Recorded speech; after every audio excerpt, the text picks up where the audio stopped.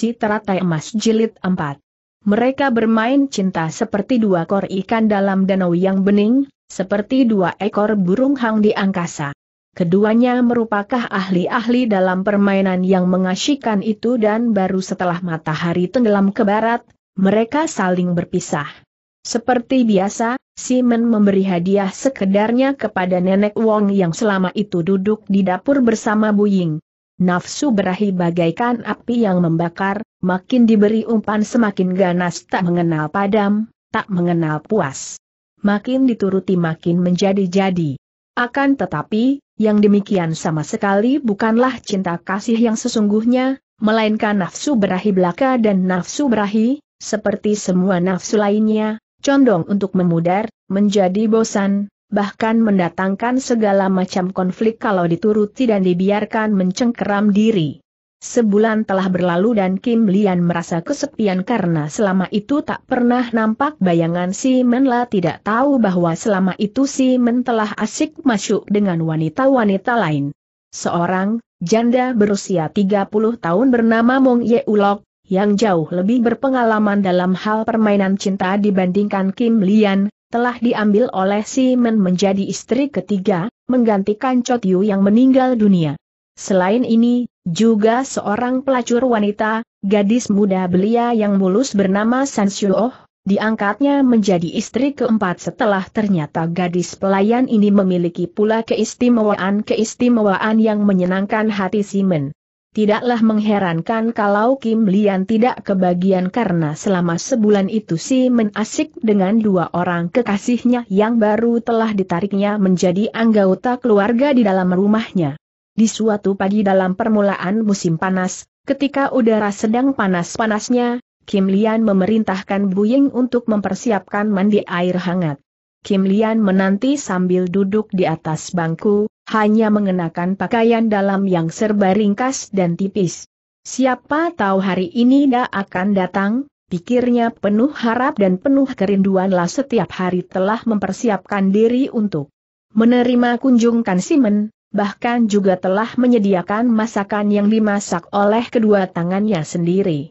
Laki-laki tak mengenal budi berkali-kali ia bersungut-sungut, karena tidak ada sesuatu yang dikerjakan, Kim Lian melamun sampai ia merasa mengantuk, maka ia pun melempar diri ke atas pembaringan dan jatuh pulas. Dua jam kemudian Kim Lian bangun dengan uring-uringan. Bu Ying datang memberitahukan kepada ibu tirinya yang sudah bangun bahwa air hangat untuk mandi telah dipersiapkan. Coba bawa ke sini bakso goreng yang kubikin tadi, katanya. Kalau si Men tidak datang, lebih baik ia makan sendiri saja masakan daging yang enak itu. Buying cepat mengambilkan masakan yang diminta ibu tirinya dan dengan jari tangannya yang kecil mungil Kim Lian menghitung kue daging yang bulat-bulat itu. Eh, aku menggoreng 30 biji, kenapa tinggal 29? Mana yang sebiji lagi lah membentak Buying dengan alis berkerut. Kesepian dan kekecewaan karena si Men tak pernah muncul membuat gairahnya tak tersalurkan dan sebagai gantinya ia menjadi pemarah sekali. Saya tidak tahu, barangkali engkau salah hitung? Tidak mungkin. Aku telah menghitungnya dua tiga kali. Bakso ini kubikin untuk tuan muda Simon, bagaimana engkau begini kurang ajar untuk berani mencurinya sebiji? Engkau budak hina tak mengenal budi, engkau tak mengenal kenyang. Awas, ku hajar kau dengan kemarahan meluap Kim Lian membuka baju Buying sehingga nampaklah punggung anak itu yang kurus. Kim Lian lalu melecuti punggung telanjang itu dengan cambuknya sampai 30 kali, yang membuat anak itu meraung-raung dan menggeliat-geliat. Hayo mau mengaku atau tidak? Kalau tidak mengaku akan kupukul lagi sampai seratus kali. Ya, ya, di antara lolong jeritnya kesakitan Buying berteriak. Hentikan cambukan itu, aku mengambil sebuah karena aku, lapar sekali. Aku tahu engkau mencurinya dan engkau berani menuduh aku menghitung tidak benar. Engkau pencuri hina dina dan tak kenal budi. Pantas karena selama ayahmu yang tolol itu masih hidup engkau tidak dididik baik-baik. Sekarang dia sudah mampus dan engkau berani main-main di dalam rumahku? Huh, sepatutnya ku cabik-cabik kau, Maling tak tahu malu ia melecut sekali lagi keras-keras sehingga pipi Buying, yang terkena lecutan menjadi bergurat merah, lalu melemparkan cambuknya dan memerintahkan Buying untuk berdiri di dekatnya dan mengipasi tubuhnya yang terasa geras setelah melakukan pencambukan itu. Setelah Buying mengipasinya beberapa lamanya, Kim Lian yang masih belum reda marahnya itu berkata, Menghadap ke sini, aku ingin memberi pelajaran agar engkau tidak lupa lagi dan berani main-main di rumahku. Biarpun ketakutan, Buying menghadapkan mukanya dan dengan kedua tangannya, Kim Lian mencakar kedua pipi Buying dengan kukunya yang panjang meruncing sehingga kedua pipi itu bertambah guratan berdarah. Barulah Kim Lian merasa puas dan ia mengusir Buying keluar dari dalam kamarnya lalu mandi berias maka, memereskan rambutnya dan mengambil tempat di tempatnya yang biasa, yaitu di bawah tenda di luar pintu rumahnya. Pada saat ia keluar, ia melihat si kacung Atai menunggang seekor kuda membawa sebuah tas. Hei, Atai, mau ke mana engkau teriak Kim Lian? Atai bukan seorang anak bodoh dan sering kali dia diajak majikannya berkunjung ke rumah ini dan sudah sering pula telapak tangannya menerima pemberian hadiah-hadiah kecil dari Kim Lian, maka dia pun segera turun dari atas kudanya menghampiri wanita itu sampai ke depan pintu. Saya diutus pergi ke rumah komandan militer untuk menghaturkan beberapa hadiah. Eh, Atai, apa saja yang dikerjakan majikanmu di rumahnya Kim Lian mengajak anak itu masuk ke dalam rumahnya. Mengapa dia menghilang dan aku tak pernah melihat bayangannya? Apakah dia telah mendapatkan seorang kekasih baru? Saya kira tidak. Pekerjaan yang repot membuat dia belum sempat datang mengunjungimu. Ah, pekerjaan. Bukankah alasan untuk menelantarkan aku selama satu bulan penuh, tanpa kabar sedikit pun? Pekerjaan apa sih pemuda remaja itu menyeringai? Katakan, pekerjaan macam apa? Yah, pekerjaan macam-macam. Ku beritahu engkau juga tidak akan mengerti Atai menjawab dengan lagak menjual mahal. Ih, anak bengal. Aku akan membencimu sampai aku mati kalau engkau tidak mau mengatakan sebenarnya. Baiklah, baiklah, enci yang baik. Akan tetapi, berjanjilah agar engkau tidak akan memberitahukan majikanku. Aku berjanji. Nah, majikanku, baru saja mengawini Nyonya Mung Yeulok, anak itu lalu menceritakan tentang peristiwa itu, betapa majikannya tergila-gila kepada Mong Yeulok, bahkan mengambilnya sebagai istri ketiga pengganti istri ketiga yang meninggal. Mendengar penuturan itu, Kim Lian tak dapat menahan air matanya yang jatuh berderai di kedua pipinya. Sudahlah, jangan menangis, anak, itu mencoba menghiburnya. Hari ulang tahun majikanku akan tiba tak lama lagi dan dia pasti akan datang ke sini. Sebaiknya kau tulis beberapa baris kata-kata, dan aku akan mengantarkan suratmu itu kepadanya. Ah, itu baik sekali. Aku akan menghadiahkan sepasang sepatu baru dan indah untukmu, yang dibuat oleh kedua tanganku sendiri. Dan aku mengharapkan kedatangannya pada hari kelahirannya. Akan tetapi awaslah engkau, anak bengal, jika dia tidak datang Kim Lian memerintahkan Buying untuk menghidangkan teh dan kue kering. Kemudian ia sendiri pergi ke kamarnya untuk menuliskan sepucuk surat dengan kertas berkembang dan sebentar saja ia telah membuat serangkaian sajak yang diberi judul, Pesan Seng Bunga. Pesan dari setangkai kembang kepada dia Seng Kumbang lupakah sudah Anda? Akan pertemuan pertama ketika Anda dengan dalih cinta, menghisap manisnya madu bunga? Kenapa membiarkan kembang menanti rindu akan datangnya Seng Kumbang? Yang pandai merayu. Tenggelam dalam air matu dan duka membiarkannya layu merana? Tulisannya halus dan indah. Surat itu dilipatnya hati-hati, dimasukkan sampul dan diberinya kepada Atai untuk disampaikan kepada Simen. Dan keesokan harinya, sehari Suntuk Kim Lian duduk menunggu jawaban suratnya. Namun tidak ada berita secubil pun, seolah-olah ia telah melemparkan sebuah batu ke dalam lautan yang tanpa dasar. Pada malam hari ulang tahun Simen, dengan hilang sabar Kim Lian mengutus Buying untuk mengundang Janda Wang. Setelah nenek itu datang, Kim Lian menyuguhi makanan dan minuman, kemudian menghadiahkan hiasan rambut terbuat dari perak dan emas, yang diambilnya dari rambutnya sendiri dan menyerahkannya kepada nenek Wong La tahu benar bahwa nenek ini tak mungkin dapat diharapkan bantuan tanpa adanya imbalan. Bibi Wong, tolonglah aku dan, bawalah Kong Chu Men ke sini, Kim Lian memohon. Saya kira hari ini dia tidak mungkin datang, karena dia tentu berpesta pora di rumahnya sendiri dengan keluarganya. Akan tetapi besok pagi-pagi saya akan pergi ke sana. Setelah kenyang makan dan mukanya menjadi kemerahan karena banyak minum arak nenek itu pulang, dan malam itu Kim Lian tidak dapat tidur. Ia gelisah di atas pembaringannya yang lunak, di antara bantal dan selimut yang disulam melukiskan sepasang bebek yang tengah berkasih-kasihan. Larbah dengan gelisah, penuh kerinduan. Cinta asmara selalu mendatangkan kebalikan-kebalikan mendatangkan kepuasan akan tetapi juga kekecewaan, kesenangan dan kesusahan, suka dan duka, cinta dan benci. Kalau sedang mendatangkan kepuasan, tidak ada apa pun di dunia ini yang lebih puas dan nikmatnya, sebaliknya kalau mendatangkan kekecewaan, dunia dan kehidupannya seolah-olah kiamat. Kalau sedang mendatangkan suka, membuat orang bernyanyi, menciptakan lagu-lagu terindah, namun kalau sedang mendatangkan duka, banyak sudah orang membunuh diri karena kegagalan cinta. Kim Lian merasa nelangsa sekali. Entah berapa puluh atau ratus kalilah menarik napas panjang, mengeluh dan mengusap matanya yang menjadi basah. Rambutnya menjadi kusut, pakaiannya lusuh, matanya sayu, wajahnya layu dan erangan lirih keluar dari dada melalui kerongkongan seperti orang merintih-rintih.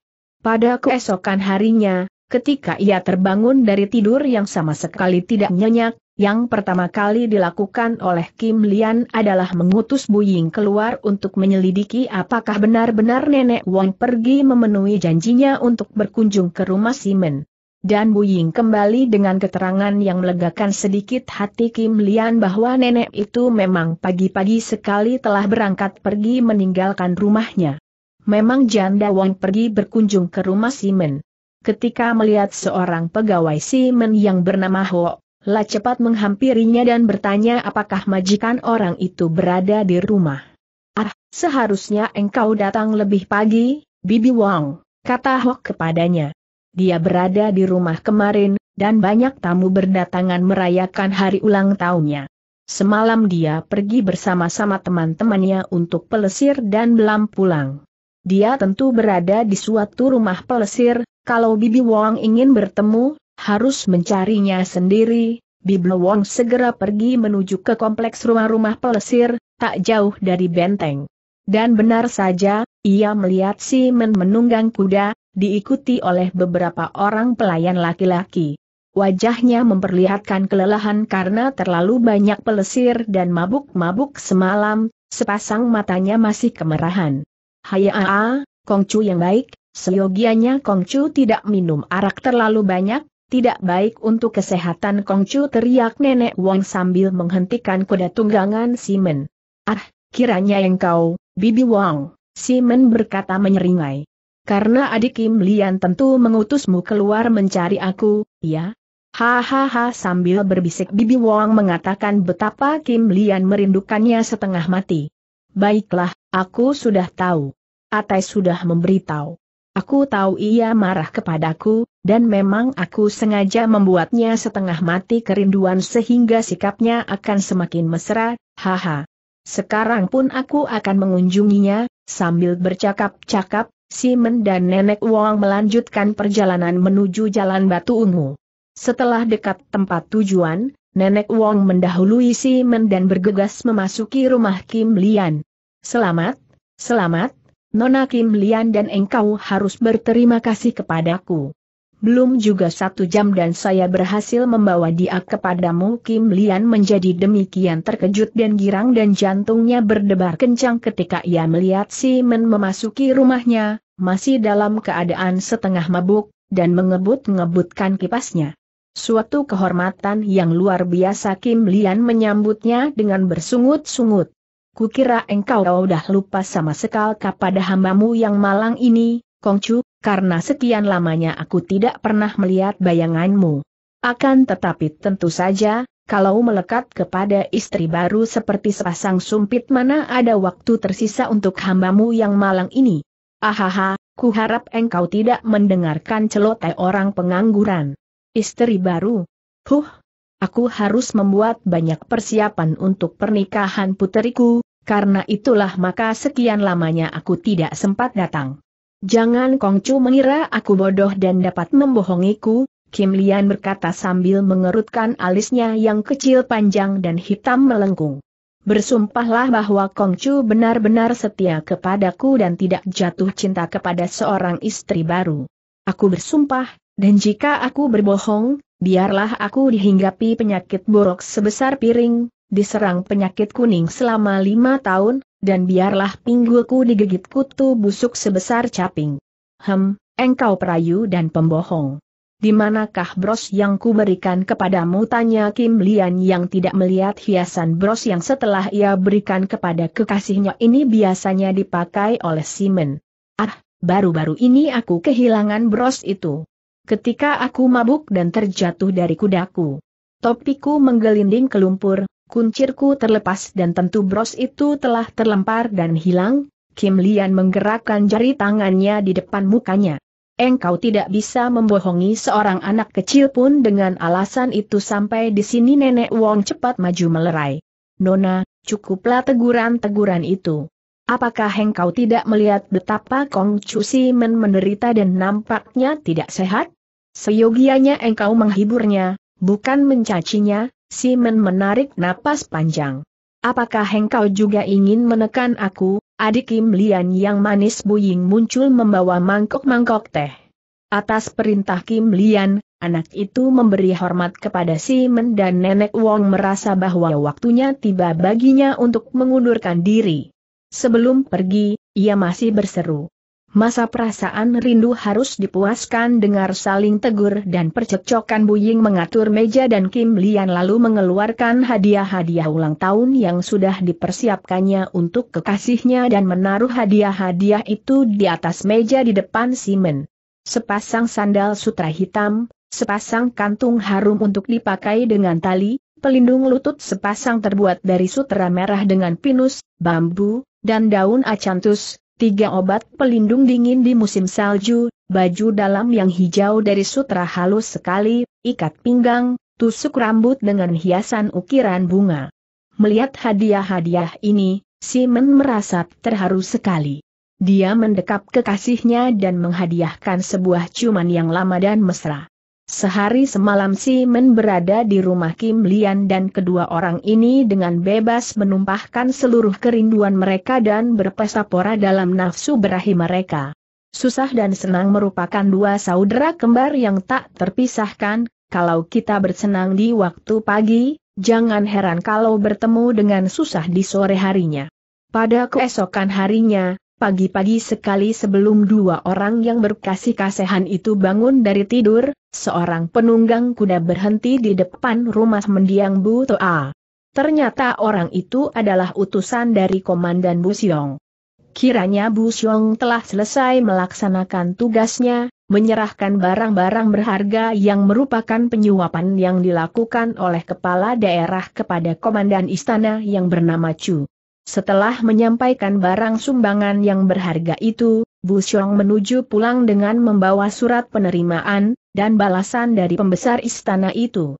Musim panas telah lewat dan musim gugur sudah menjelang tiba ketika dia melakukan perjalanan pulang ke kota Cheng Hosian.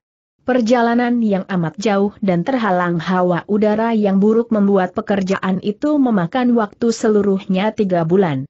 Selama dalam perjalanan itu, baik selagi tidur maupun terjaga, pendekar ini merasakan sesuatu yang tidak enak di dalam hatinya, terutama sekali kalau dia mengingat akan kakaknya Bu Toa. Karena itulah, dia mengiring utusan agar melakukan perjalanan terlebih dulu pulang dan segera menyampaikan suratnya kepada kakaknya. Dan kini pesuruh itu telah tiba di depan rumah Kim Lian. Dia melihat betapa pintu rumah itu tertutup dan ketika dia hendak mengetuk pintu dia melihat Nenek Wong yang merupakan tetangga terdekat berdiri di luar rumah, dan Nenek Wong bertanya apa yang dikehendaki penunggang kuda itu. Saya membawa sepucuk surat dari Kapten Keamanan, Komandan Busiong, untuk diserahkan kepada kakaknya. Dia tidak ada di rumah, seluruh isi rumah berada di kuburan.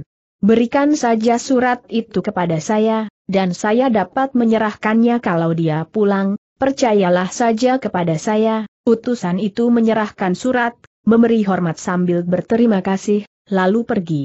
Nenek Wong cepat membawa surat itu ke rumah sebelah melalui pintu belakang dan mengetuk daun pintu kamar di mana sepasang kekasih itu masih tidur berpelukan. Bangun!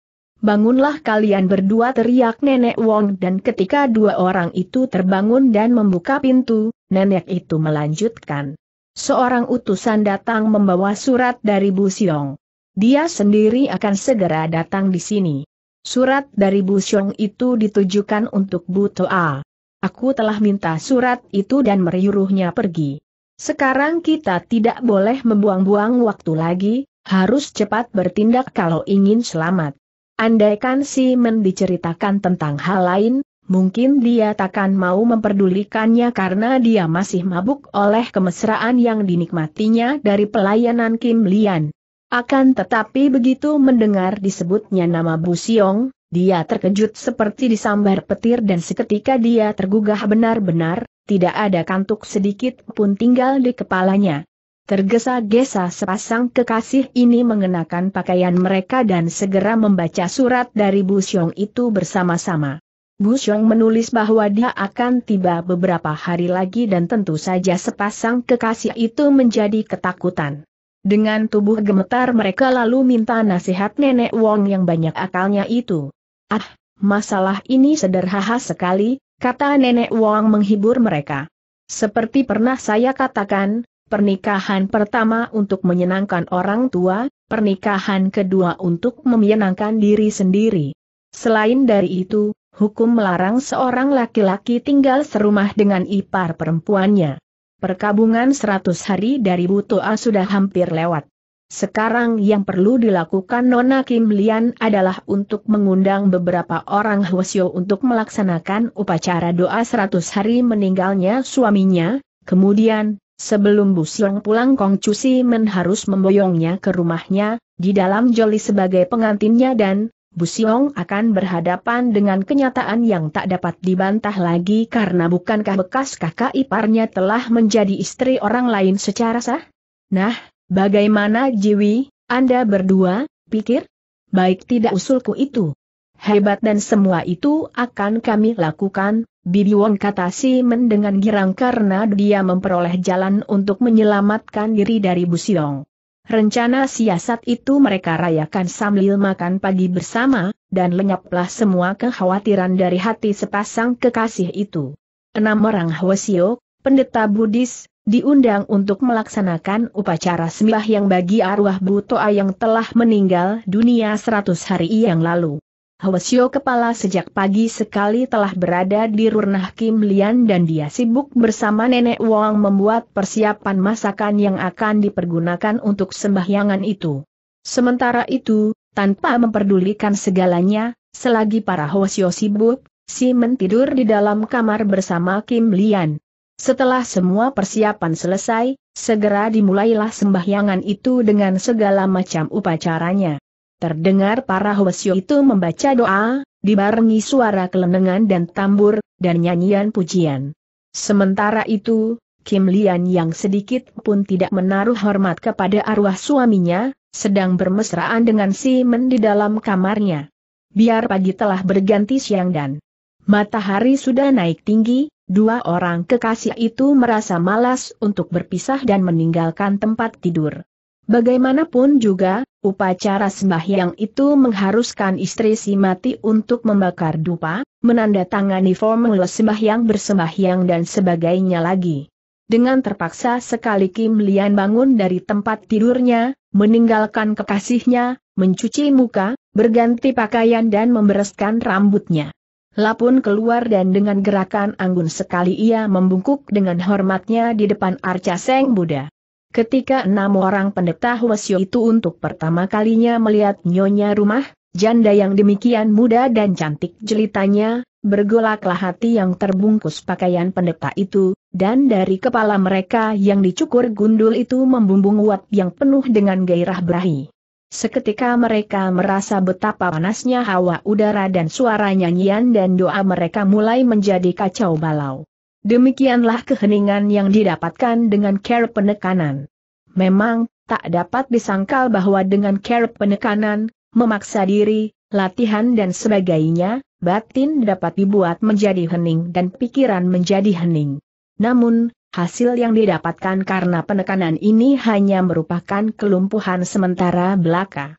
Sekali datang rangsangan yang kuat, maka keheningan menjadi kebisingan dan kebeningan menjadi kekeruan.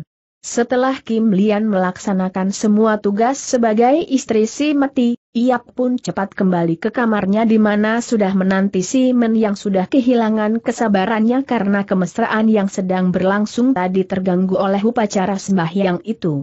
Sebelum menutupkan kembali daun pintu kamar, si Men memesan kepada Nenek Wong agar para pendeta itu tidak lagi mengganggu Kim Lian. Ketika tengah hari tiba, para pendeta itu berhenti sebentar, Upacara itu dihentikan karena mereka harus kembali ke kuil dulu untuk makan siang. Ketika makan siang selesai, seorang di antara mereka lebih dahulu kembali ke rumah Kim Lian. Dia masih selalu membayangkan janda yang tadi menjadi bahan percakapan kawan-kawannya ketika mereka makan siang. Tanpa disengaja, ketika Hosho yang masih muda itu hendak mencuci tangan di belakang, dan lewat di depan kamar Kim Lian, dari jendela kamar itu dia mendengar suara-suara mencurigakan, bisikan dan lesahan, jelas suara orang yang sedang bercintaan di dalam kamar itu.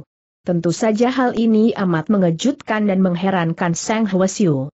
Janda yang cantik dan muda itu baru saja ditinggal mati suaminya, bahkan hari ini diadakan upacara sembahyang ke-100 harinya, akan tetapi tak dapat disangka lagi, janda cantik itu kini sedang bermain gila dengan seorang pria di dalam kamarnya itu.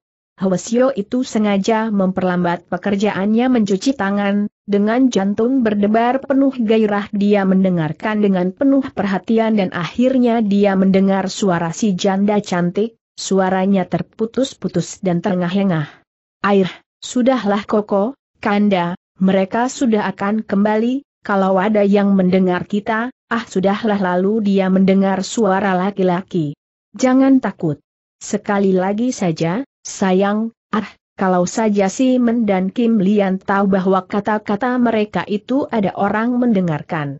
Setelah Hosho yang tadi kebetulan mendengar kata-kata yang penuh arti itu, membisikkan semua yang didengarnya kepada kawan-kawannya. Hal ini menambah berkobarnya gairah birahi dari mereka berenam dan semakin tidak karuanlah jalannya upacara.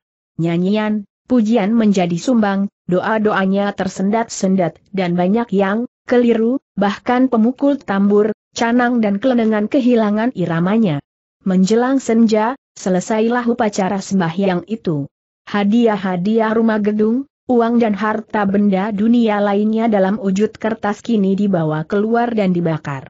Menurut kepercayaan kuno, mereka yang masih hidup dapat mengirimkan benda-benda duniawi yang serba indah kepada si mati dalam bentuk duplikat dari kertas, membakar semua itu dan di sana roh si mati akan menerimanya dalam bentuk yang nyata. Lebih menggelikan lagi, ada yang mengirim dari kertas untuk si mati, berupa semangka ke sana karena semangka ini amat diperlukan oleh roh yang mati. Untuk apa? Apakah roh si mati gemar makan semangka seperti ketika hidupnya? Tidak, bukan untuk itu melainkan untuk maksud yang jauh lebih penting lagi, yaitu untuk menyogok para dewa maut agar roh itu di sananya dapat memperoleh tempat yang baik dan perlakuan yang pantas. Agaknya mirip dengan orang-orang memberi imbalan jasa atau istilah kasarnya sogokan kepada para penjaga penjara agar keluarganya yang menjadi orang hukuman di situ mendapat perlakuan yang baik dari para sipir penjara yang dapat mereka sogok.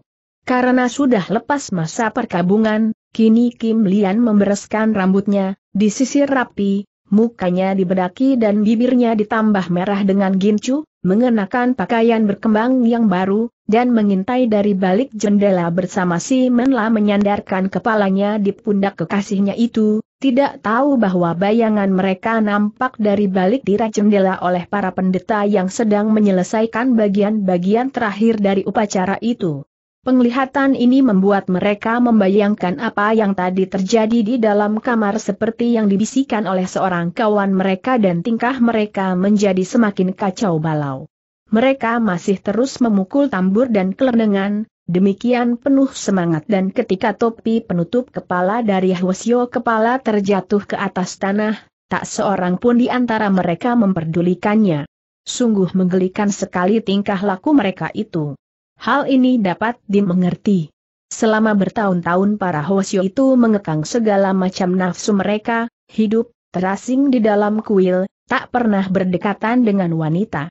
Agaknya secara lahiriah saja demikian, namun batin mereka tak pernah lowong dari bayangan wanita sehingga sekarang, setelah mereka melihat janda muda cantik itu bermain cinta dengan seorang kekasih pada saat sembahyang roh suaminya dilakukan, mereka semua itu tak mampu lagi membendung peluapan nafsu berahi mereka. Suhu sekalian, Nenek Wong berkata kepada mereka dengan heran. Semua barang telah terbakar habis menjadi abu, upacara telah selesai, akan tetapi mengapa suhu sekalian masih saja membunyikan kelenengan dan memukul tambur itu? Biarlah, sekali lagi saja jawab mereka. Mendengar ini, Simon mengerti bahwa ulahnya bersama Kim Lian di dalam kamar tadi diketahui orang. Dia lalu memberi sejumlah uang kepada para Hosyo dan minta agar mereka itu segera pulang ke kuil mereka.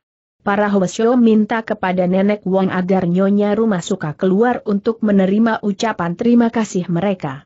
Namun, Kim Lian yang tadi juga mendengar sindiran mereka, tidak, berani keluar akhirnya para Hosyo itu dapat dibujuk oleh Nenek Wong untuk pergi. Pada keesokan harinya, Kim Lian mengunjungi Nenek Wong untuk berpamit, dan ia menitipkan Buying kepada Nenek Wong agar dipelihara dan anak itu dapat pula membantu Nenek Wong.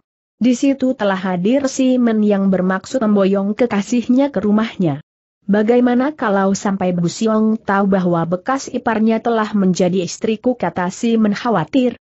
Ah, serahkan saja kepada saya, Kongcu.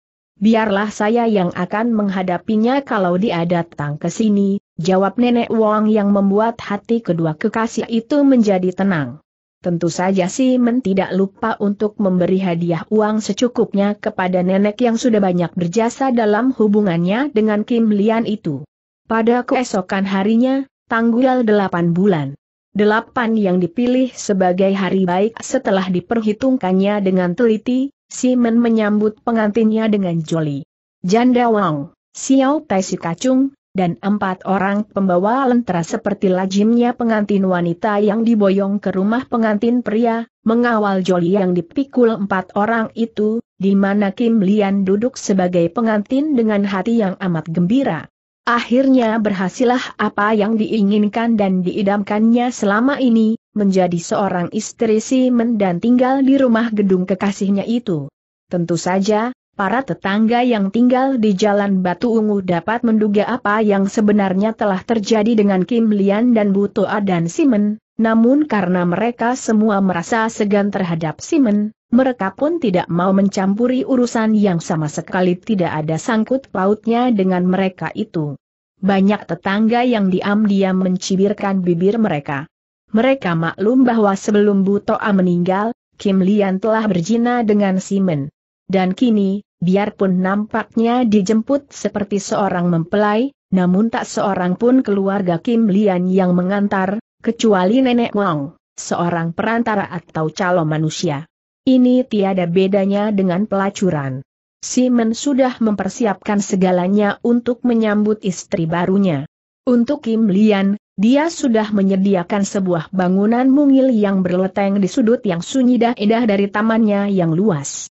Bangunan kecil mungil itu diperbaiki, dicat baru, diisi dengan perabot-perabot baru yang serba menyenangkan. Terutama sekali kamar tidurnya.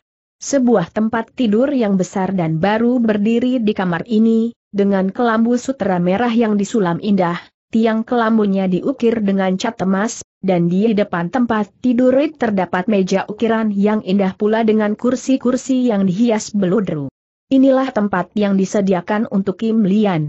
Go atau Anio, istri pertama Simon mempunyai dua orang dayang, yaitu pelayan wanita yang masih muda remaja. Dua orang perawan ini manis-manis dan namanya adalah Chun Bwe dan Xiao Giok.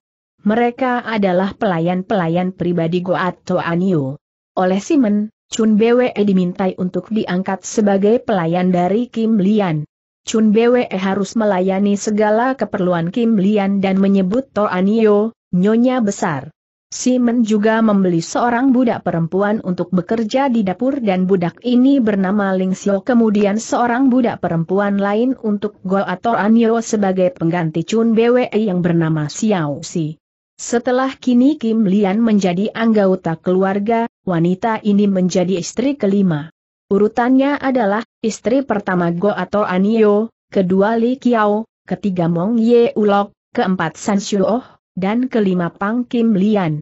Pada hari pertama Kim Lian memasuki rumah tangga Simen, dengan pakaian baru dan rambut digelung secara rapi, Kim Lian menghadap Go atau Anyo untuk memperkenalkan diri kepada semua anggota keluarga yang sudah berkumpul di ruangan besar rumah gedung itu.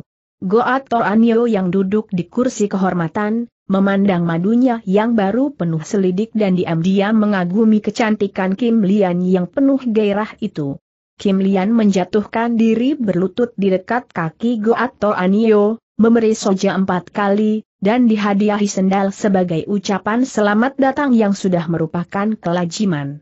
Setelah memberi hormat kepada Go atau Anio, lalu ia memberi hormat kepada para madunya yang lain sesuai dengan nomor kedudukan mereka, yaitu Li Kiao, Mang Yeulok, dan San Wo.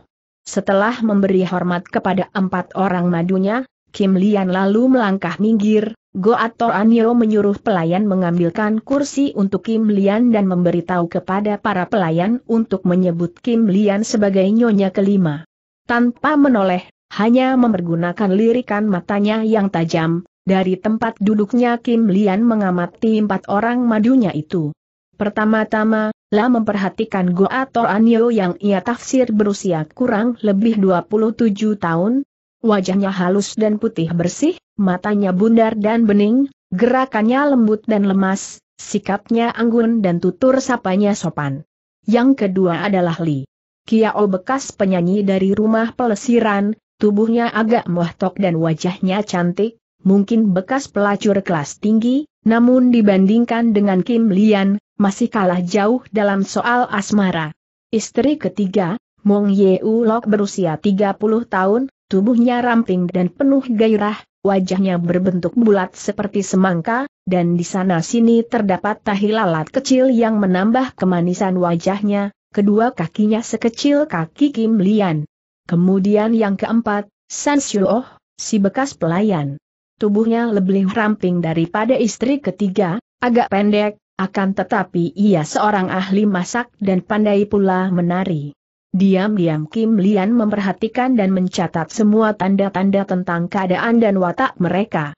Semenjak tinggal di situ, Kim Lian membiasakan diri untuk bangun pagi-pagi sekali dan pergi menghadap Go atau Anio, mengoper semua pekerjaan menjahit, dan lain-lain.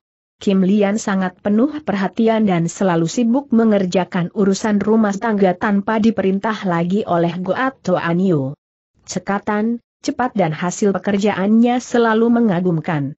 Juga ia selalu bersikap penuh hormat kepada istri pertama itu sehingga dengan mudah ia dapat merebut rasa sayang dari madunya yang nomor satu. Hal ini tentu saja tidak begitu menyenangkan hati istri-istri yang lain dan diam-diam mereka bertiga sering membicarakan Kim Lian dengan hati penuh iri. Ia datang belakangan akan tetapi selalu diterima dengan manis budi oleh Goat Anio. Sungguh bikin kita penasaran semenjak Kim Lian menjadi istrinya yang kelima, mendadak saja si Men kini betah tinggal di rumah. Tentu saja setiap malam tidur di kamar Kim Lian dan hal ini tentu saja menambah rasa cemburu dan iri di hati tiga istri muda yang lain. Bu Xiong tiba di kota Cheng Hosian. Segera dia menghadap kepala daerah untuk melaporkan tugasnya yang telah dilaksanakan dengan baik dan menyerahkan surat balasan dari Komandan Istana Chu. Kepala daerah merasa girang sekali dan memberi hadiah kepadanya. Setelah selesai menghadap kepala daerah, Bu Xiong segera menuju ke markasnya, berganti pakaian dan bergegas pergi mengunjungi rumah kakaknya. Rumah itu tertutup dan diam-diam Bu Xiong merasa girang. Kakaknya itu agaknya, mentaati pesan dan nasihatnya. Toako, dia berteriak memanggil sambil mengetuk pintu. Tidak ada jawaban. Soso, kakak ipar, ia memanggil dan mengetuk pintu. Tiada jawaban walaupun dia sudah memanggil berulang kali sambil mengetuk daun pintu semakin keras. Pada saat itu, Nenek Wong kebetulan melihatnya. Nenek ini menekan perasaan takutnya dan cepat menghampiri. Bibi, di manakah kakakku dan di mana pula kakak iparku tanya Bu Siong. Duduklah dulu, aku akan menceritakan segala sesuatunya dengan jelas, kata nenek itu. Tidak perlu duduk, kalau ada persoalan ceritakanlah saja, Bibi. Kakakmu Butoa telah terserang penyakit berat dalam bulan 4, tidak lama setelah engkau berangkat dan dia meninggal karena penyakitnya itu, tentu saja Bu Xiong merasa terkejut bukan main mendengar akan kematian kakaknya itu. Dia menuntut keterangan dari nenek Wong kapan meninggalnya kakaknya itu, dan apa penyakitnya, diberi obat apa pula. Dengan cepat otak tua yang cerdik itu sudah merangkai karangan yang sesuai. Pada tanggal 20 bulan 4, dia terserang penyakit perut yang parah. Dia rebah sakit tak dapat turun dari pembaringan selama delapan atau sembilan hari. Dia telah minum bermacam obat. Namun segala usaha untuk menyembuhkannya sia-sia belaka. Akhirnya dia meninggal, kasihan sekali Bu Toa. Bagaimana dia sampai terkena penyakit perut ini? Sebelumnya, tidak pernah dia menderita sakit perut. Aku tidak mengerti. Ciang Kun, sebutan perwira, sekarang pertanyaanmu terlalu sukar bagiku untuk menjawab. Nasib yang ditentukan oleh Tuhan tak mungkin dapat dimengerti manusia. Dan di mana adanya kakak iparku? Nona Kim Lian? Ah, ia hanya seorang wanita lemah yang tiba-tiba kehilangan tempat ia bersandar, maka, setelah berkabung selama seratus hari, ia mentaati nasihat ibunya lah menikah lagi dengan seorang laki-laki terhormat dari kota Rejala membawa semua miliknya, kecuali perawan cilik itu yang ia serahkan kepadaku untuk dipelihara. Aku hanya menanti kedatanganmu Chiang Kun untuk menyerahkan anak itu kepadamu dan dengan demikian selesailah sudah tugasku. Bu Xiong menarik napas panjang, hatinya penuh duka. Dia meninggalkan wanita tua itu tanpa sepatah kata pun, dan kembali ke markasnya. Dia mengenakan pakaian terburuk, membeli pula kain putih untuk dibuat menjadi pakaian berkabung, kemudian menyuruh anak buahnya membeli alat-alat untuk sembahyang seperti buah-buahan, manis-manisan, dupa lidi, gambar-gambar dan uang-uangan kertas. Kemudian dia membawa semua perabot sembahyang ini ke rumah kakaknya. Di rumah itu dia mengatur sebuah meja sembahyang, dan melakukan upacara berkabung. Pada malam harinya, dia bersembahyang dengan penuh kehusukan, kemudian mengucapkan kata-kata yang ditujukan kepada arwah kakaknya. Toako, jiwamu tentu tak jauh dari sini. Di dalam hidupmu, engkau lemah dan selalu mengalah. Aku masih belum mengerti bagaimana engkau sampai meninggal dunia. Adakah suatu penasaran yang kau derita Bu Xiong menghidangkan minuman, membakar gambar-gambar dan uang kertas, lalu dia berlutut dan menangis. Sampai tengah malam, Bu Xiong masih berada di situ, gelisah tak dapat tidur walaupun tubuhnya terasa lelah. Dia lalu bangkit duduk. Toako begitu lemah dan mengalah ketika masih hidup, Aku curiga bahwa kematiannya tidaklah wajar matahari mulai membakar langit di ufuk timur, Busyong mandi dan membersihkan mulut, kemudian keluar. Mulailah dia bertanya-tanya dan melakukan penyelidikan kepada para tetangga kakaknya. Dia ingin menyelidiki sebab kematian kakaknya dan dengan siapa kakak iparnya menikah lagi. Para tetangga tahu akan persoalannya, namun mereka semua takut kepada Simon, maka mereka lebih suka menutup mulut sehingga gagallah usaha Bu Xiong untuk memperoleh keterangan yang sebenarnya. Tanyalah saja kepada Nenek Wang, atau tanya kepada pedagang buah agoan, atau kepada pejabat pemeriksa kematian, Hu Kiu. Mereka itu akan dapat menceritakan segalanya kepadamu, Bu Chiang Kun, kata mereka semua. Mendengar ini, makin besar perasaan curiga mengaduk hati Bu Xiong. Tentu ada suatu rahasia karena kalau tidak, para tetangga itu tidak akan bersikap seperti itu. Pergilah dia mencari si kecil agoan penjual buah dan tidak sukar mencari anak yang bengal ini. Selamat siang, adik agoan, Bu Siong memberi salam. Senang hati agoan disapa begitu hormat dan ramahnya oleh si pembunuh harimau yang terkenal ini. Ciang Kun, sayang engkau datang agak terlambat, anak ini segera dapat menduga mengapa pendekar itu mencarinya. Sayang bahwa saya tidak dapat berbuat seperti yang selayaknya. Saya harus merawat seorang ayah yang sudah tua, maka saya tidak mungkin dapat menjadi saksi kalau Anda menuntut ke pengadilan. Adik yang baik, marilah ikut dengan aku, Bu Xiong mengajaknya masuk ke dalam sebuah restoran dan memesan makanan yang cukup. Setelah mengajak anak itu makan-makan, Bu Siong lalu berkata dengan suara ramah. Ternyata engkau yang masih amat muda ini berbakti kepada orang tua. Itu baik sekali, Agoan. Aku hanya dapat membantu sedikit. Inilah, dia mengeluarkan lima tel perak kepada anak itu. Ini sedikit bantuan untuk ayahmu yang tersayang. Kalau urusan ini sudah selesai aku akan memberimu sepuluh tel lagi agar engkau memperoleh modal untuk berdagang kecil-kecilan. Sekarang ceritakan. Apakah kakakku pernah berkelahi dengan orang lain? Siapakah orangnya yang mungkin menghendaki kematiannya? Dan dengan siapakah kakak iparku menikah? Nah, ceritakan dan jangan sembunyikan dariku agoan menyimpan pemberian itu. Ayah dapat hidup selama lima bulan dengan uang ini, maka biarlah saya siap untuk menjadi saksi, Kemudian Agoan menceritakan sejelas-jelasnya apa yang telah terjadi di rumah Nenek Wang, menceritakan perkelahiannya dengan Nenek Wang, dan betapa Butoa yang hendak menangkap basah istrinya dan si Men yang melakukan pertemuan gelap di dalam rumah Nenek Wang, telah menerima tendangan yang keras pada perutnya oleh si Men, dan betapa beberapa hari kemudian Butoa meninggal dunia secara tiba-tiba. Dan dengan siapakah kakak iparku menikah tanya Bu Xiong walaupun dia sudah dapat menduga siapa laki-laki itu. Siapa lagi kalau bukan tuan muda Simen? Hem, si jahanam keparat. Sudah kuduga. Begini, adik Agoan. Besok pagi sekali engkau harus sudah siap di kantor pengadilan. Aku membutuhkan engkau sebagai saksi. Sekarang, di manakah tinggalnya si Hukiu pemeriksa mayat itu? Engkau terlambat, Chiang Kun. Tiga hari yang lalu, ketika mendengar bahwa engkau akan tiba, dia pergi, tak seorang pun tahu ke mana, mereka berpisah dan pada keesokan harinya, pagi-pagi sekali, Bu Xiong menyuruh seorang ahli tulis untuk membuatkan sebuah surat pengaduan resmi. Dengan surat ini di tangan, Bu Xiong pergi ke kantor pengadilan di mana Agoan telah menantinya.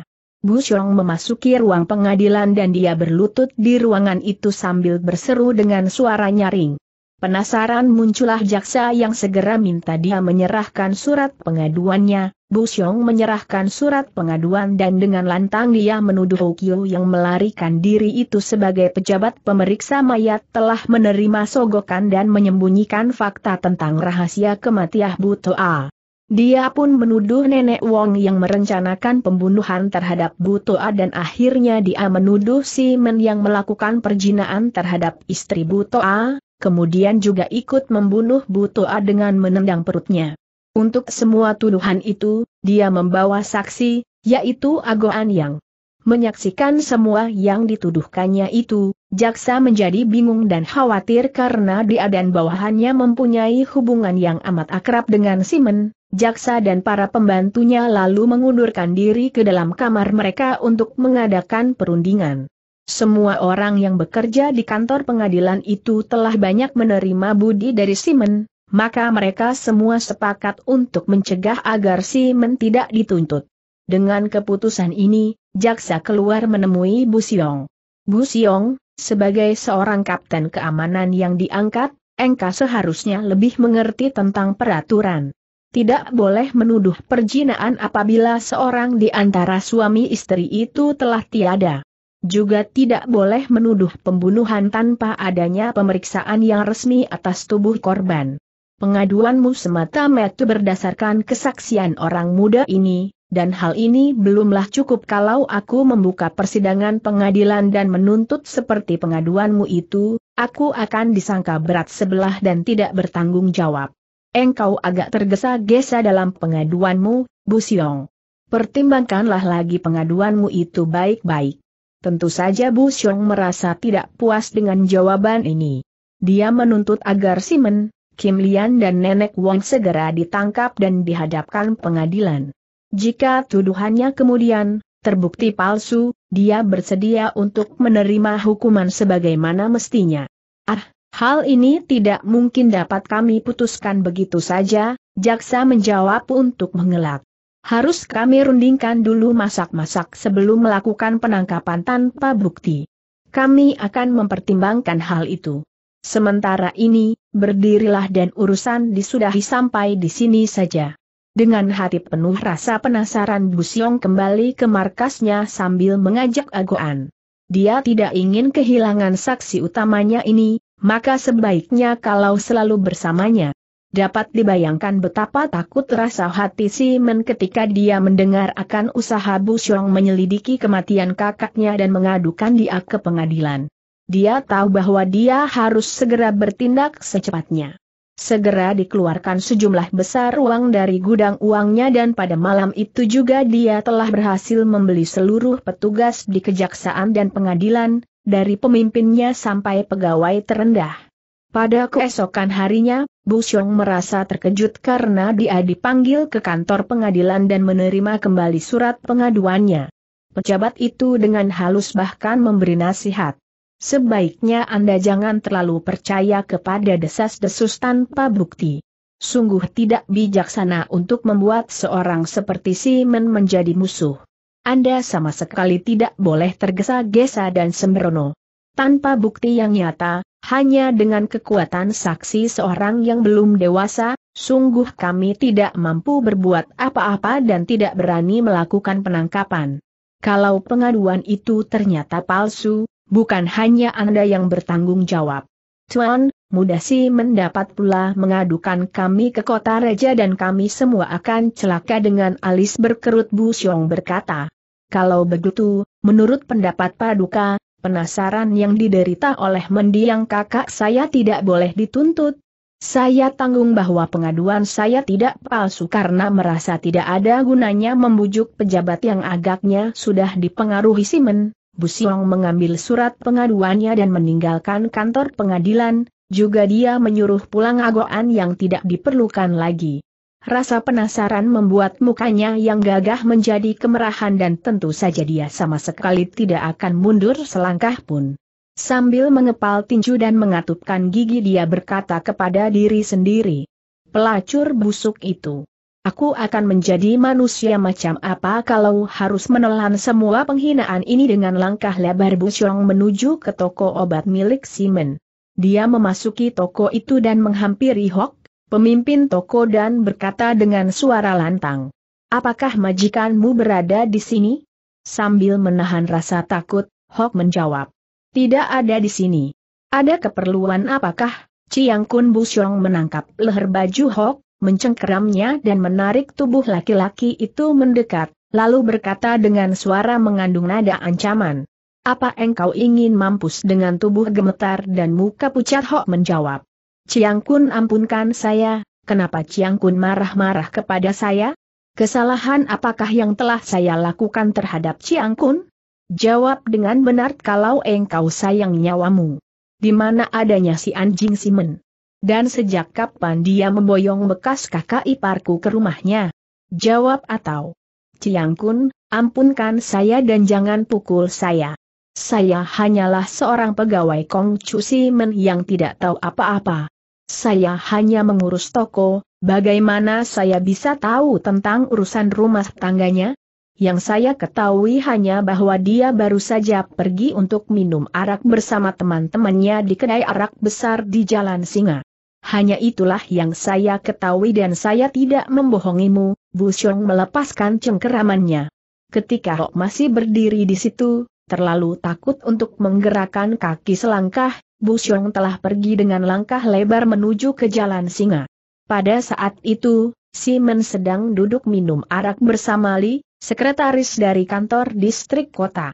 Li ini terkenal sebagai orang yang suka menghubungkan mereka yang membutuhkan bantuan dengan para pejabat, juga menjadi perantara dalam hal sogok menyogok sehingga orang-orang memberi julukan caloli kepadanya. Ketika jaksa mengembalikan dan menolak surat pengaduan Bu Xiong maka Liang cepat mengabarkan kepada Simon. Saking girang mendengar berita ini, Simon memberi hadiah lima tel perak kepada Li dan mengundangnya untuk minum-minum bersama selagi mereka bersenang-senang minum harak. Kebetulan Simon menjenguk jendela dan dia melihat Bu Xiong yang berlari-lari memasuki jalan singa dan telah tiba di atas jembatan.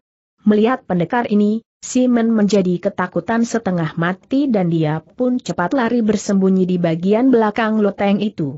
Caloli tidak melarikan diri, tidak sempat lagi dan pula, dia tidak merasa takut. Dia tidak mempunyai urusan dengan Bu Siong, kesapa mesti lari, pikirnya dan dia melanjutkan minum arak seenaknya. Bu Siong berlari naik ke loteng dan dia melihat seorang laki-laki duduk minum arak ditemani dua orang gadis penyanyel. Tidak nampak si Men di situ. Bu Siong mengenal si Caloli, maka dia pun mengerti apa yang telah terjadi. Tak perlu diragukan lagi, orang INL datang membawa kabar kepada Simon bahwa pengaduannya ditolak. Bukan main marahnya. Dia menghampiri Li dan membentak. Orang Shili, di manakah sembunyikan Simon? Hayo katakan, atau engkau akan merasakan pukulan tangan kulit tak mampu bicara saking takutnya. Dia hanya bangkit berdiri dan menggigil seperti orang terserang penyakit demam tanpa mengeluarkan sepatah pun kata. Kediamannya membuat Bu Xiong menjadi semakin marah dengan sebuah tendangan Bu Xiong menjungkir balikan meja di depan Li. Piring, mangkok dan cawan terbanting ke atas lantai dengan suara hiruk pikuk. Dua orang gadis penyanyi yang berbeda tebal itu jatuh pingsan saking takutnya. Si Caloli yang sadar akan keadaannya yang terancam bahaya, berusaha untuk melarikan diri. Akan tetapi sekali saja tangan kiri Bu Xiong menangkap Li dan menyambar, dia sudah mencengkeram. Jahanam, mau lari ke mana kau? Kamu tidak mau bicara, ya? Baiklah, rasakan tanganku tangan Bu Xiong menampar. Plak Li merasa betapa mukanya seperti hancur dan dia pun mengeluh kesakitan. Simon baru saja lari dari sini. Biarkan aku pergi, aku tidak ada sangkut pautnya dengan urusanmu, Buslong sudah marah sekal. Dia membuka daun jendela dan tubuh Li telah tergantung dari loteng, di luar jendela. Engkau ingin pergi, bukan? Nah, pergilah Busyong melemparkan tubuh Caloli dan ketika tubuh itu meluncur ke bawah dan menimpa jalan, kepalanya retak dan dia pun tewas. Namun Bu Xiong tidak peduli dan dia sudah meloncat untuk mengejar dan mencari Simon. Akan tetapi dari tempat persembunyiannya, tadi Simon mendengar segala yang terjadi. Dengan hati terbang melayang ketakutan, Simon cepat melanjutkan pelariannya, melompati tembok memasuki taman rumah sebelah dan terus berlari pergi seperti dikejar setan. Ketika Bu Xiong tak dapat menemukan Simon dan melihat tubuh Li menggeletak di jalan, dia menendang tubuh yang sudah tak bernyawa itu. Ah, itu adalah sekretaris Li, kata para penonton kepada Bu Siong. Apa yang telah dia lakukan kepadamu sampai engkau membunuhnya, Bu Chiang Kun? Yang ingin kubunuh adalah Simon. Dia ini menyembunyikan Simon, maka dia aku bunuh jawab Bu Siong karena terjadi pembunuhan, maka para petugas keamanan segera berdatangan ke tempat itu.